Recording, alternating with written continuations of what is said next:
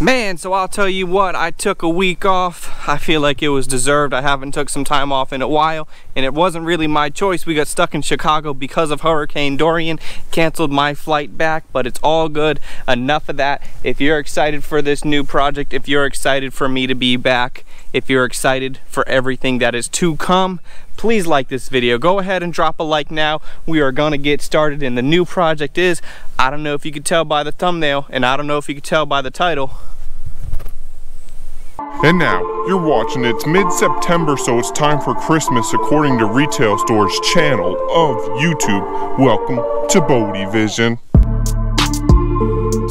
Hey, so what is up and welcome. Thank you so much for joining me on yet another video. Like I said, it has been a little while, but I want to get these videos going. I want to get everything out there and I want to get right back on track. And you leaving a like on this video is going to help me out in that aspect. So what the game plan is, what we got to do right now Project Pepto. I'm waiting on some parts. So I think we got to get Project Pepto pulled out of here and then I'm going to get the black the black EG hatch that has been sitting over here in the yard for more than a year. It's just been sitting over here untouched. That's what we're gonna start working on. And for this project, I want your guys' help all along the way. I'll get into that a little bit more later, but every single one of my videos, I'm gonna present a question or two different options. And then in the following video, I'm going to do the option that was picked in favor or the option that was picked more. So I want you guys to help me build this build. I want you to be involved. I want this build to be a build that we can all look back on and say, we built this car together. It wasn't just you watching me do whatever I want or whatever the owner wanted. It's us working together on this thing. So what I got to do right now, I want to kind of get everything pulled off that I'm probably not going to be using. So I guess we just got to get everything assessed. I'm going to get the car pulled from over here, get it pulled into the shop. No motor, it's just sitting there a shell. I'm not going to be able to push it by myself, so I got to figure out how to make it go over there. But that's just the fun of working by myself. I got to figure it out.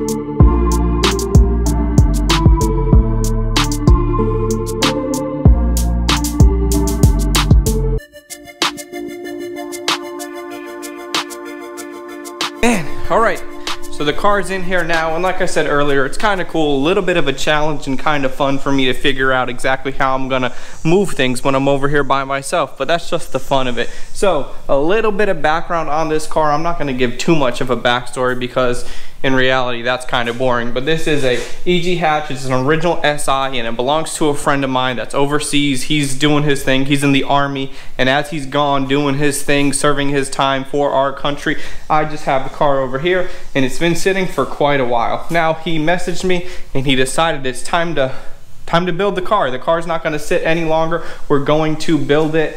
I just gotta see exactly what we need to do. And the only thing that I wanna do right now and in this video, I wanna focus on tearing it down. There's some things that we're definitely not gonna be using. For example, this rusty fender, I'm not gonna use that fender. Maybe we'll just get another one from a junkyard or I don't know exactly what we're gonna do, but that's what I wanna do.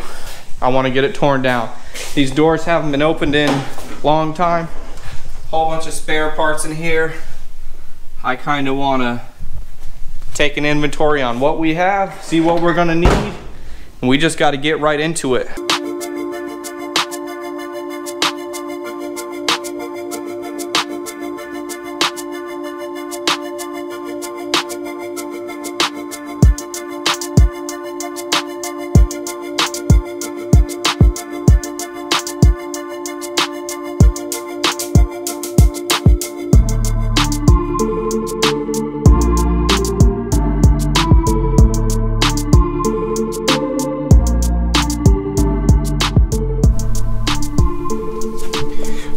So that was relatively quick. I got everything pulled out of there. Nothing was bolted in at all. It's looking really good. And then just after looking at it, you can see that the car, it was K-Series at one point, but it's not going to be K-Series any longer or in the near future. But we'll have to see what happens. We'll see. We'll address that when we get there. So everything is looking good.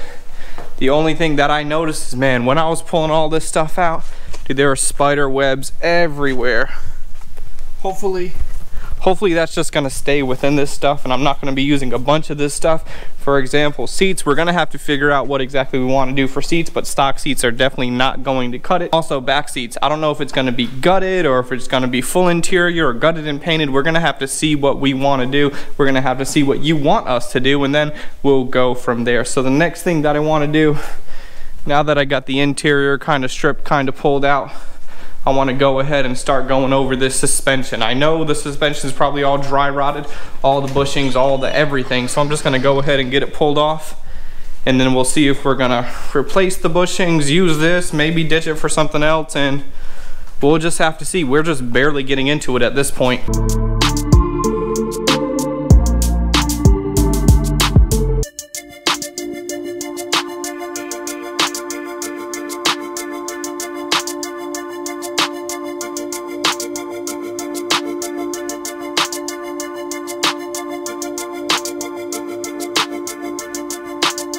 Right, so taking the first look at this suspension, what I can see, more spiders in there. Pretty nasty. And then this stuff all looks real rusty, really bad, pretty gross. Now I can imagine the bushings, as you can see, they're almost non-existent. On the back, it's probably gonna be the same way for the rear trailing arms. I'm not even gonna look at them just by judging how these look, how long this car has been sitting. I'm gonna go ahead and get all this stuff pulled off of there and then either replace the bushings or replace all this stuff. That'll, that'll be the question. I'll ask you at the end of this video what you think.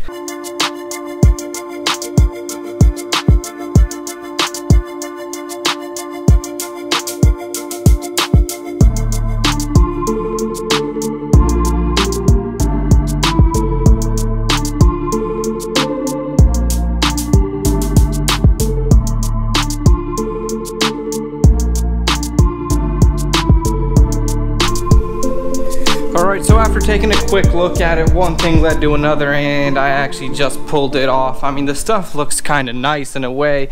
Extended studs, slotted and drilled rotors, but everything is just everything is just so far gone. So rather than going through and revamping this, I think that we're going to replace it. The question is going to be the question for this video. What I want you to leave in the comment section below is whether you think I should replace it with just another set of four lug stuff and then we can have a little more money in the budget for an aftermarket wheel. Now I'm not talking about a really expensive aftermarket wheel. I'm talking about like a, you know, just like a well, I don't know, something 4x100, something not extremely expensive. I'm not talking about TE37s. We don't have TE37 type money. We just got regular money. So that's the question. Go with the four lug stuff, replace it with four lug stuff, and then just get some aftermarket four lug wheels. Or since this is going to be a performance build, maybe we're going to want to go with the full ITR 5x114 setup since I'm pulling this off anyways. And then we'll go with the OEM Integra Type R wheels. I don't know. I think that looks really good. I'm happy to do either one. I'll let you guys decide what we want to go with and I'll give you a little summary at the end to see what we should do and to see exactly what you should say for what we should do. But the next thing that I got to do right now is I got to go ahead and get the backs pulled off right here. And then if you can see, I already got all this stuff off because these need to come with There's just two 12s right there, a 12 right there, and a 12 right there. They're all just sitting right there. One, two, three, four 12 millimeter bolts to get that loose. Now I gotta go ahead put my attention back here and get all those rear trailing arms off. Also, just wanted to point out that these are SI EG SI rear discs because this is an actual SI EG hatch.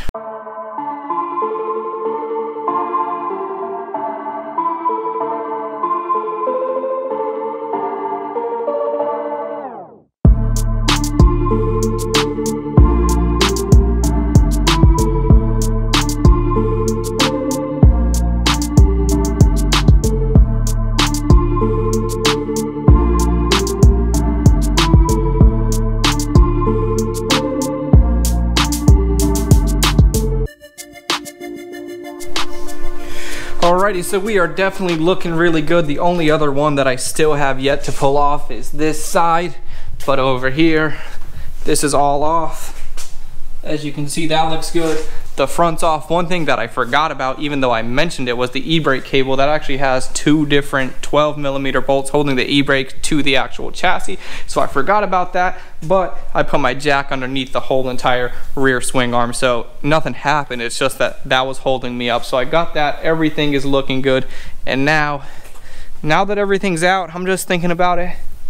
I think we're just gonna go ITR 5 lug regardless. I still want you to leave in the comment section below what you would have done, whether you would have went with the 4 lug and the aftermarket wheels, and then I'm gonna have to see about getting 5 lug wheels if we get the ITR stuff. Maybe we'll just get some ITR wheels to go along with it anyways. But this is just getting into it. This is just the first part of the teardown phase, and this is really exciting. This car is going to be everything. The entire car is going to be done. We're going to be doing paint job. We're going to be doing everything and anything that you could think of to be done on an EG hatch it will be done. We'll get into it a little bit more later on down the road. And like I said, I want you to help out in making decisions. I want you personally involved. So be in the comment section below, putting in your input all along the way. And also, the more thumbs up you leave, the more comments you leave, the better that helps me out, the more content I can come out with. And it's just all, it just all works hand in hand together perfectly, uniformity, all that stuff. Oh, man, so I am definitely glad to be back. So thank you guys so much for watching. Like this video, comment, subscribe, do all this stuff. You know what it is, YouTube. I'll see you on the next one. Um,